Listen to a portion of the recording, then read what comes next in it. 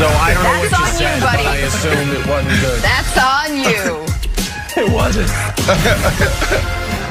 All right, we will get to the full eyes. pinch over enough, though. Take a listen. I think any one of us would definitely take a win over all those, you know, just great stats. You know, those sound incredible for a first game out for a few great teammates, uh, just first time touching the floor. But like I said, we're we're not so much consumed about what we can do. You know, we're we're more or less responsible for, you know, like I said, putting these pieces together and making it work. And offensively, it clearly wasn't enough tonight. You know, we still needed to get stops on the other end. So that's going to be the tale of our season is how committed are we to that end of the floor. Kyrie Irving with his glass half full. But Nick, how worrisome was this Nets loss last night? Li- Listen, I don't want to read too much into it. Everyone who watches the NBA knows you can't stop Collin Sexton. You can only hope to contain him. And the Nets did a pretty decent job containing him for the He's better part of three and a half lately. quarters. And then he scored 20 consecutive points. And you end up the rare blown out in overtime scenario because you allowed, what was it, 36 points in the two overtimes. Uh, those were five minute quarters, 36 points in 10 minutes. Probably not great. 60 points allowed total in the fourth quarter in the overtimes. That's really not great. But I have two numbers for you. Uh, uh. Both of them are concerning. More good, more numbers. And they are almost identical. 147. That's the number of points the Nets allowed. But 148 is the number that actually should really concern my buddy Brandon Marshall. Because Brandon Marshall is eh, not as worried about the defense as me. So let's not even focus on the abysmal defensive performance. Let's instead focus on the 148. That's the number of minutes Kevin Durant, Kyrie Irving, and James Harden all just played. You know why? Because the old bench mob Nets now play for other people. And you're now in a position where you're like, oh my God, we got these three stars. We got Joe Harris, who's really good, and then we have nobody. And then we're like, Chris Chiozza, should we should we have him play? What about is it Bruce? Is it Brett? What's the Brown? Who is it? I think Steve Nash just met him. Does he So now play? you believe in DeAndre- load Jeff- management? Jeff Green. Jeff Green. Well, well, Brandon, so here's the thing. I don't believe in starving myself for a week. I also don't believe in eating 38 Big Macs in a day. There is something of a happy medium. And so, no, I'm not a big fan of load management, but I also think having these three guys play 50 minutes each. Probably not the ideal scenario for the team in That mid-February. That may be a little much. But I don't know.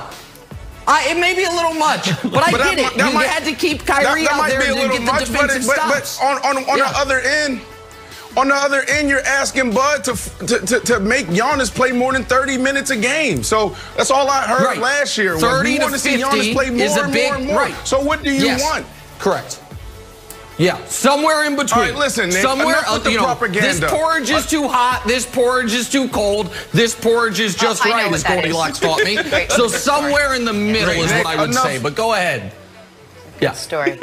Nick, enough with the propaganda. The inauguration was yesterday, okay? So I got to uh-huh. listen to you for the next two months talk about defense. Every time we talk about the Nets, all I'm going to hear is defense, defense, defense. I get it. I understand. But if we're going to do this, let's start with the foundation. Let's start with the fundamentals. You played basketball, Nick. You played in high school. You mm-hmm. actually played on a really good team.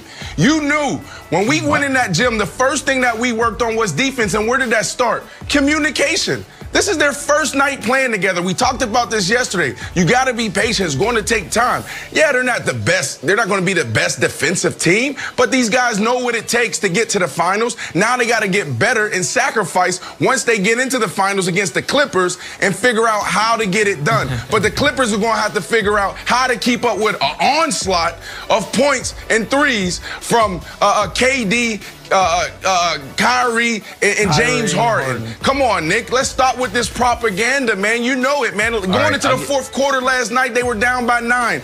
Eight minutes and 30 seconds, they're down by 13. You saw a glimpse of how they played defense. Something on the line, they clamped down. And all of a sudden, Sexton, he just goes crazy. There's nothing you can do against him. This is the glimpse, this is a glimpse of what you're going to see from the Brooklyn Nets moving forward. When something's on the line, come mid-March, they're going to play defense just like this. We can't control Sexton having a freaking career night and just freaking efficiency. Ooh.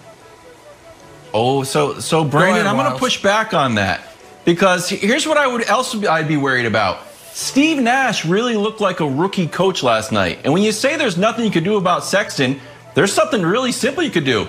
You're up three, foul Collin Sexton before he shoots. Instead, Kyrie gave him an open three, bang, you're going into double overtime.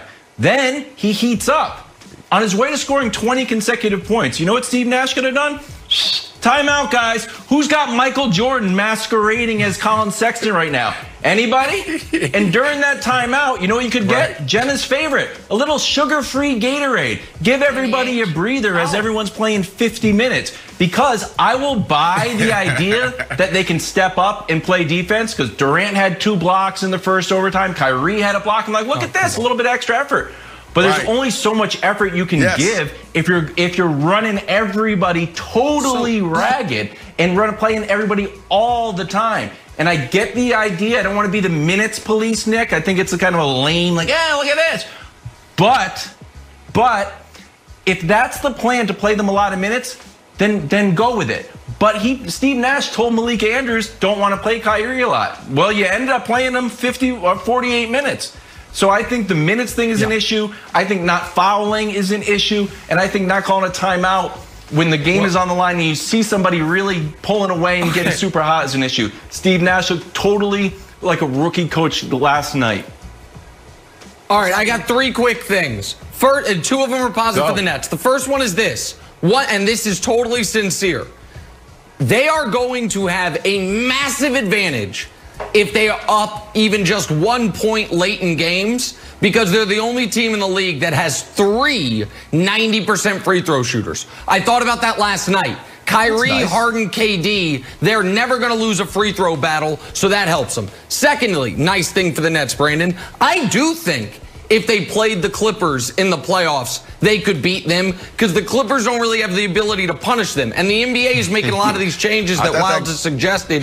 If they end up creating like a bronze medal game for the two teams that lose in the conference finals to see who wins that, I think the Nets would be a huge favorite there. But you caught that. The, you caught the that. third thing that isn't good for them, the third thing that is not good for them, if you watch those Collin Sexton highlights, you know what you see? Every single guy on the Nets gets some. KD gets some. Jeff Green gets some. Yep. Harden gets some. Joe Harris gets some. Of course. Kyrie gets some. You know why? Because they ain't got a single guy who they can say go guard. So it's like, all right, you take your turn, you take your turn, you take your turn. Because they don't have a single guy except for Durant who's going to be able to guard. It's going to be a problem. Listen, but you can't just beat the Cleveland you know what Cavaliers. Else is, listen, you just hope to contain It's going to be a problem for the next two months for me. It's going to be a problem for the next two months for me until we hit mid-March and those guys start playing defense. So have your fun for the next okay. two months, and when we get to the playoffs okay. and we get to the finals, it's going to be my time to really stand on the table well, and talk about the Nets. All right. And to Wild's point, Steve Nash did say.